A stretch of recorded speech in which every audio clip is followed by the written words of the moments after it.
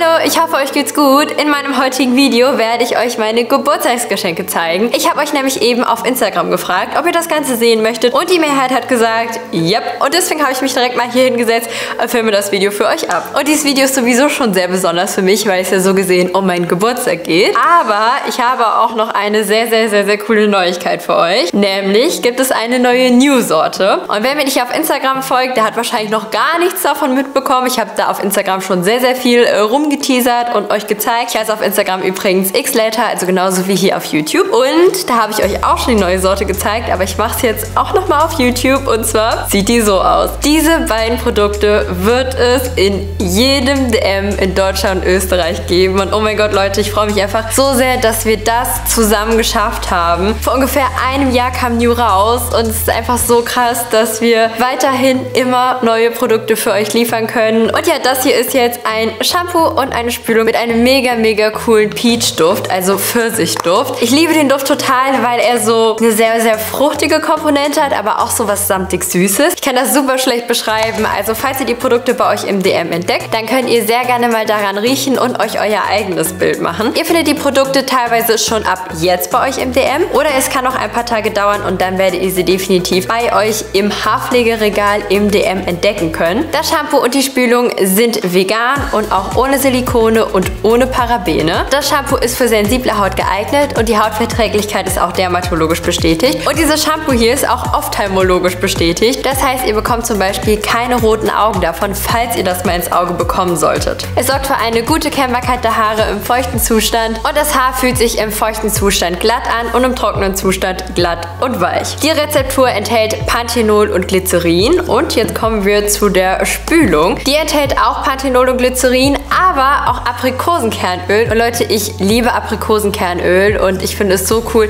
dass wir es geschafft haben, dass eben auch hier drin Aprikosenkernöl enthalten ist. Das Haar wird durch diese Spülung nicht beschwert, sie sorgt für eine problemlose Frisierbarkeit und auch für einen Anti-Frizz-Effekt. Und ihr habt durch diese Spülung eine sehr leichte Kennbarkeit der Haare im feuchten Zustand. Wegen dem hohen Gehalt an Vitamin E, B-Vitaminen und essentiellen Fettsäuren gilt Aprikosenkernöl als äußerst hochwertig und Aprikosenkernöl ist bekannt dafür, dass es nicht nur auf unsere Haut äußerst positiv wirkt, sondern auch auf unsere Haare. Vor allem trockene, gefilzte und zum Brechen neigende Haare werden mit Aprikosenkernöl optimal gepflegt. Falls ihr die Produkte schon zu Hause habt, dann könnt ihr mir sehr gerne ein Foto schicken, denn ich reposte wie immer einige in meiner Instagram Story und ihr könnt natürlich auch sehr gerne dem Be New Account auf Instagram folgen. Dort gibt es auch immer coole Infos und Neuigkeiten für euch und auch einige Verlosungen und da erfahrt ihr auch immer ganz viel über die Produkte. So und jetzt starten wir mit den Geburtstagsgeschenken. Ich hatte am 20. März Geburtstag und Leute, hier liegen gerade schon alle Geschenke, die ich euch jetzt zeigen wollte. Und es ist mir fast schon unangenehm, euch das zu zeigen, weil es wirklich richtig, richtig viele und teilweise auch echt krasse Geschenke sind und ich bin wirklich unglaublich dankbar dafür. Und letztes Jahr habe ich ja zum Beispiel kein Geburtstagsgeschenke-Video gefilmt, weil bei solchen Videos auch sehr häufig Kommentare kommen nach dem Motto, du möchtest doch nur angeben oder sonst was und deswegen wollte ich das hier vorne mal als kleinen Disclaimer machen und sagen, nein Leute, ich möchte damit nicht angeben. Wie gesagt, es ist mir fast unangenehm, euch zu zeigen, was für krasse Sachen einfach dabei sind. Ich bin unglaublich dankbar für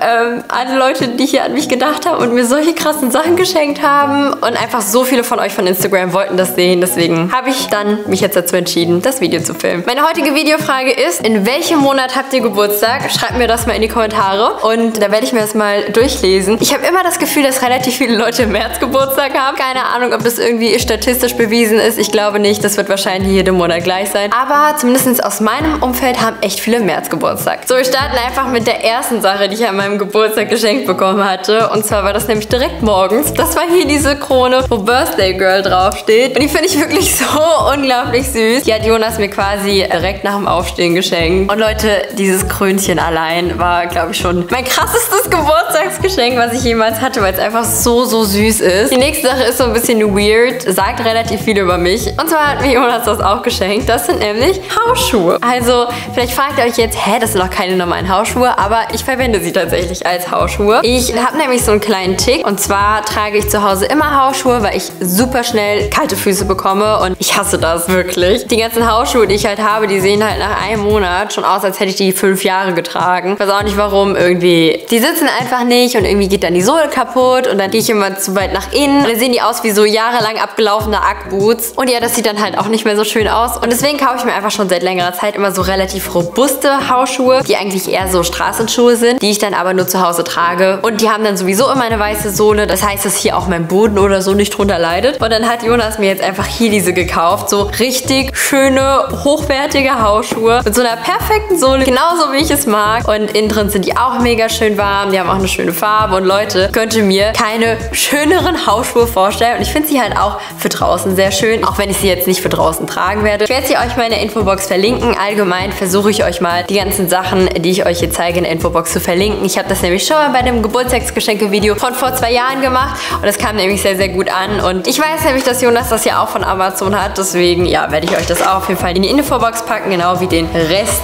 auch, wenn ich ihn finde. Ja, da freue ich mich sehr drüber. Dann machen wir jetzt einfach mal weiter mit zwei mega teuren Geschenken. Und zwar habe ich die einmal von meinen Eltern und auch von Jonas Eltern bekommen. Das sind nämlich zwei Sachen. Das sind zwei Ketten. Denn äh, wie ihr wisst, bin ich ein absoluter Schmuckmensch und Schmuckliebhaber. Und das wissen, glaube ich, eigentlich alle, die irgendwie was mit mir zu tun haben, dass ich eigentlich immer Schmuck trage. Übrigens, mich fragen immer so viele nach dieser Kette hier.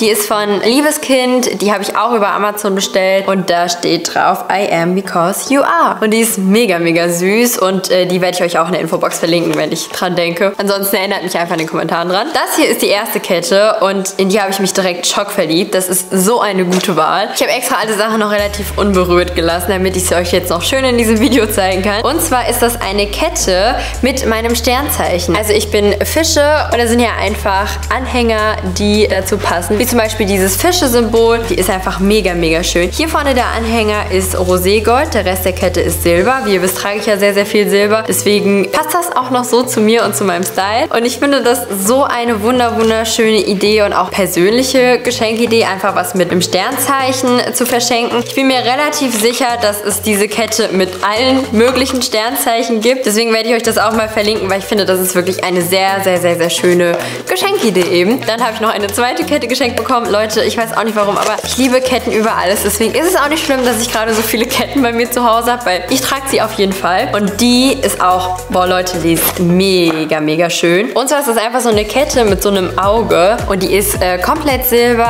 Und Leute, ey, ohne Spaß, ich habe die so gesehen, aber so, wie gut passt die bitte zu mir? Ich habe schon echt lange nach so einer Kette in der Art gesucht. Ich hatte auch mal so ein Armband dazu entdeckt, aber ich habe es mir irgendwie nie bestellt. Und jetzt habe ich einfach so eine Kette mit so einem Auge. Und äh, ich finde es wirklich sehr, sehr, sehr, sehr schön. Und alleine schon, dass ich wirklich so coole und auf mich passende Geschenke bekommen habe, das zeigt irgendwie auch, was für ein krasses Glück ich habe, Leute um mich rum zu haben, die mich einfach so gut kennen. Irgendwie ist es, das allein ist eigentlich so das schönste Gefühl daran. Und wir machen jetzt weiter mit den anderen Geschenken und die passen tatsächlich auch alle zu mir. Ich mache erstmal weiter mit drei Geschenken von drei Freundinnen, die ich auch an meinem Geburtstag gesehen hatte, weil wir noch abends was mit Freunden gemacht haben und am Tag danach ein bisschen mit der Familie. Deswegen habe ich alle Geschenke schon bei mir zusammen. Und zwar ist das eine, dieses Oberteil hier. Das hat eine ganz lustige Geschichte. Ich habe nämlich dieses Oberteil hier auch in weiß. Ich kann euch hier mal ein Video einblenden, in dem ich das getragen habe. Das war die Miami Room Tour von unserem Apartment. Und dieses Oberteil war mein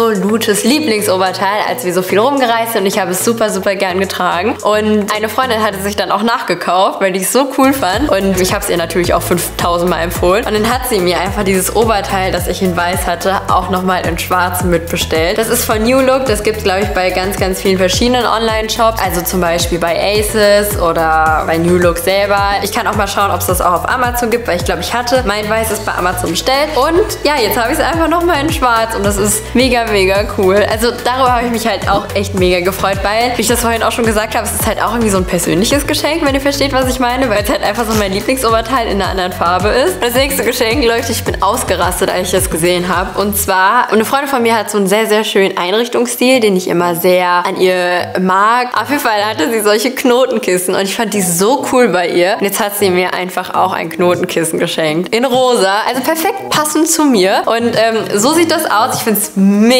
mega süß. Das gibt es auch bei so ganz, ganz vielen verschiedenen Online-Wohn-Shop-Dingern. Eigentlich überall, wo es Deko gibt, findet ihr auch aktuell solche Knotenkissen. Ich habe das Gefühl, die sind so ein bisschen im Trend. Bei Amazon werdet ihr wahrscheinlich auch noch welche finden, falls ihr danach sucht. Ich werde auch mal schauen, ob ich euch irgendetwas raussuchen kann, falls ihr euch auch so eins holen möchtet. Keine Ahnung, ich finde es einfach mega cool. Wie gesagt, ich hatte es öfter bei ihr gesehen. Sie hatte eher nochmal so runde. Das hier ist ein bisschen anders von der Form. Keine Ahnung, jetzt habe ich mein eigenes Knotenkissen. Wahrscheinlich bestelle ich mir nochmal ein paar mehr davon. Also ich werde sie mal fragen, woher sie die genau hat. Da werde ich mir ein paar in der Art noch dazu bestellen, weil ich finde, ein Kissen ist immer so ein bisschen einsam und das Kissen ist einfach so schön, deswegen werde ich mir noch mal ein paar holen. Wer mir so ein bisschen auf Instagram folgt, der weiß, dass ich Sport mache, also jetzt nicht hochprofessionell, sondern immer so ein bisschen nach Lust und Laune, aber es hatte schon eine Art von Regelmäßigkeit. Ich habe da irgendeinen Haarlipgloss.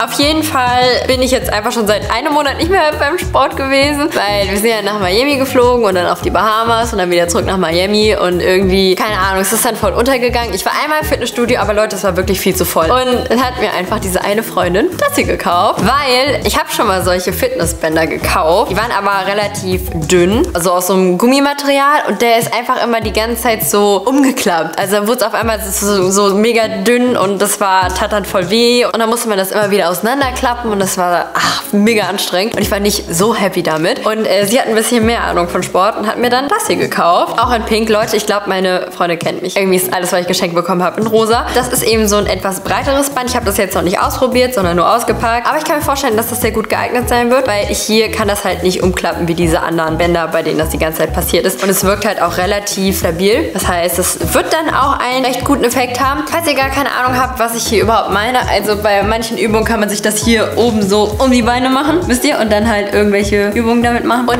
dann zieht das Ganze schön in den Po rein, wenn man Übungen macht. Und dann kann man ein bisschen sein Po-Muskel, sein Booty trainieren. Okay, weiter geht es jetzt mit einer anderen Sache. Und zwar habe ich die von meinem Bruder geschenkt bekommen. Und bei meinem Bruder habe ich immer so ein bisschen die Regel, dass ich mir quasi etwas selber aussuchen kann. Meistens wünsche ich mir irgendwie so einen Amazon-Gutschein, Douglas-Gutschein, Starbucks-Gutschein. Aber diesmal habe ich ihm einen Link geschickt zu einer Sache, die ich mir gewünscht habe. Und die hat er mir dann auch besorgt. Ich weiß nicht, aber bei uns machen wir das einfach immer. Ich glaube, dann hat man eine sehr hohe Wahrscheinlichkeit, dass man am Ende auch etwas hat, was man auch wirklich möchte. Also zum Beispiel, wenn er Geburtstag hat, dann frage ich ihn auch immer ganz konkret, was er möchte, irgendein bestimmtes Buch oder so und besorgt das dann auch. Und ich habe mir einen Mantel ausgesucht. Mit dem habe ich schon seit längerer Zeit geliebäugelt und habe ich mir gedacht, nutze ich doch einfach mal die Chance und wünsche mir das. Und so sieht er aus. Das ist so ein khakifarbener Mantel, also so eine Art Trenchcoat. Ich finde den wirklich mega, mega, mega, mega schön. Ist halt genau mein Geschmack. Ich habe so einen auch noch nicht in der Art, in der Farbe. Und es ist halt eher so ein leichtes Material, also so perfekt für den Frühling. Mir gefällt der sehr gut. Dazu kann ich euch dann auch den direkten Link in die Infobox packen, weil äh, offensichtlich weiß ich den Link, woher er es hat. Okay, und jetzt machen wir weiter mit einer Sache,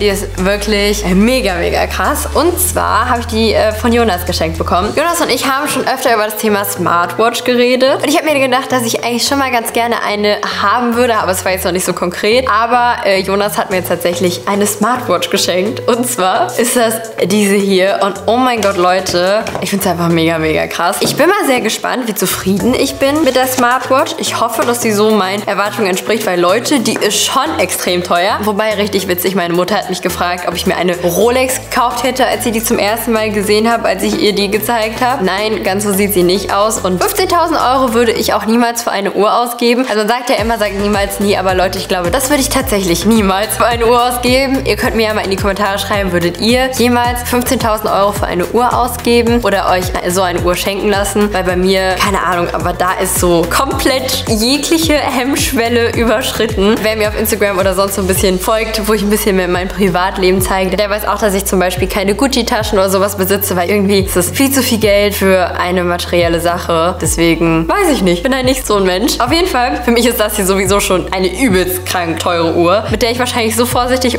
umgehen werde, als wäre sie ein rohes Ei. Deswegen will ich mir gar nicht vorstellen, wie das bei einer noch teuren Uhr der Fall gewesen wäre. Ich habe jetzt wirklich noch nichts daran verändert. Ich muss sie definitiv kürzen lassen. Und ich muss diese Uhr hier auch noch erstmal anmachen, einstellen und sonst alles. Ich hatte einfach original noch gar keine Zeit dafür. Aber ja, so sieht sie aus. Ich finde sie mega schön. Ist natürlich Silber, weil Leute, wie ihr wisst, ich trage Silber ja eigentlich immer. Die ist von Michael Kors. Es gibt Smartwatches von verschiedenen Anbietern. Jonas hat sich jetzt für diese hier entschieden. Ich habe keine Ahnung warum, aber er wird höchstwahrscheinlich schon seine Gründe gehabt haben. Und äh, das ist ungefähr eins der krassesten Geschenke, die ich glaube ich jemals bekommen habe. Also echt verdammt krass. Und das war es tatsächlich auch. Also wie ihr merkt, es waren echt so unglaublich krasse Sachen für mich dabei. Und ich bin so, so dankbar, so tolle Menschen einfach in meinem Leben zu haben, die einfach an meinen Geburtstag denken, mir gratulieren, da sind und sogar noch ein Geschenk mitbringen. Das ist einfach so. Keine Ahnung, früher, als man noch ein kleines Kind war, waren für mich immer Geschenke so das Tollste am Geburtstag. Und jetzt ist einfach so das Schönste zu wissen, dass man einfach Menschen im Leben hat, die irgendwie wissen, wie man tickt und die an einen denken und für einen da sind. Und ja, ich bin wirklich sehr, sehr, sehr, sehr dankbar dafür. Und wie ich es schon am Anfang erwähnt habe, falls ihr die beiden neuen New-Produkte bei euch im DM entdeckt, dann schickt mir sehr, sehr, sehr, sehr gerne ein Foto. Ich werde einige davon in meiner Story posten. Und ja, für mich ist es einfach so das größte Geburtstagsgeschenk, dass einfach hier diese beiden Produkte bei DM erhältlich sind und dass wir quasi mit New jetzt einfach schon seit einem Jahr bei DM sind, was einfach schon so viel mehr ist, als ich jemals gedacht hätte, dass wir das zusammen erreichen. Und deswegen bin ich euch super, super dankbar und an dieser Stelle auch ein fettes Dankeschön an jeden, der mich und das Projekt New unterstützt. Falls ihr jetzt noch ein bisschen Zeit übrig habt, dann könnt ihr sehr gerne hier oben auf das i klicken. Dort findet ihr weitere Videos oder ihr könnt euch einfach eins von diesen beiden Videos hier anschauen. Diese meine Social Media Seiten. Hier könnt ihr mich abonnieren und ich wünsche euch dann einen wunderschönen Tag und bis zu meinem nächsten Video. Tschüss!